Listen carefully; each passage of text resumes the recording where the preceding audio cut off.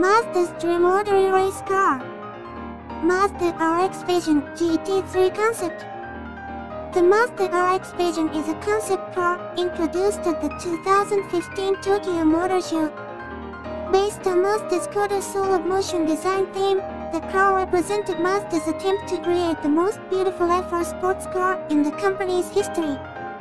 It came powered by the next generation rotary engine called Skyactiv-R. Back in 1967, Mazda overcame numerous obstacles to produce the first commercial rotary engine in history. It powered the Cosmo Sport and then was fitted to a number of other Mazda cars, including the RX-7 and even those that raced. In 1991, the four-rotor Mazda 787B became the first Japanese car to win the 24 Hours of Le Mans. The Mazda RX Vision GT3 concept expresses the design beauty of from following function in a race machine.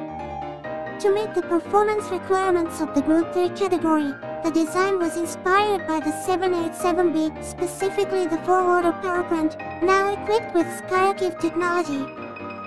This new rotary engine was mounted in a lightweight body to achieve unprecedented performance. This stunning concept provided a glimpse of a next-generation rotary engine-powered car.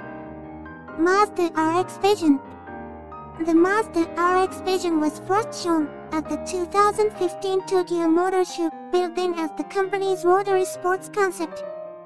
Based on Mazda's Kodo design philosophy, the car was a visual tour de force with smooth flowing lines and proportions befitting a spiritual successor of the RX-7 and US Cosmo. A bit of mystery surrounded what was under its hood. All that was disclosed was that it was Mazda's next-generation Skyactiv-R rotary engine. That the company still had plans for a future rotary engine was made clear with this machine, and Gran Turismo Sport players had an exclusive chance to sample its bursts in the virtual world in the form of the RX Vision GT3 concept.